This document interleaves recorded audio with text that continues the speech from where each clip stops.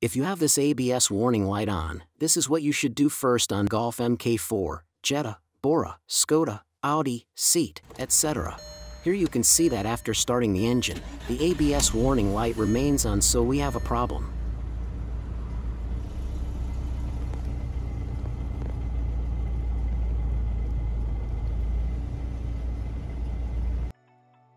What you have to do is open the hood and go to the fuse panel located on the battery.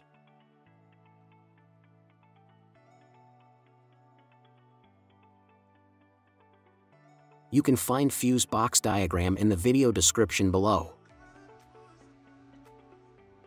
Replace one or both 30A fuses if they are blown with others having the same amperage of 30A.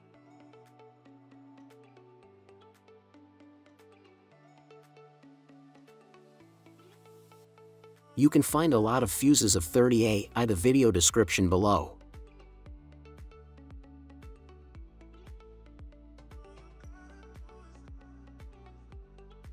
Here we have a problem with the second fuse that needs replacement. If you have any suggestions about new tutorials, let us know in the comments section. Attention, if the two fuses in the battery panel are not blown, then check the braking system, there may be a fault with the ABS sensors, ABS pump, etc. A complete car diagnosis would be helpful to see exactly where the problem is. Don't forget to like and subscribe our YouTube channel, Tutorial Auto.